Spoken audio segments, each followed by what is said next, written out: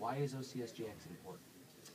Well, this exercise is important uh, because we've been using contractors to support military operations since the Revolutionary War.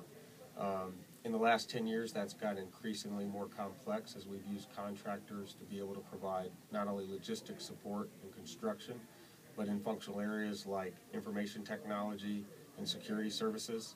But what we haven't done in the past is be is incorporate uh, operational contract support training into our exercises, and that's what we've done with OCSJX uh, 2014. Is we're training ourselves to be able to leverage contracted support in a major contingency.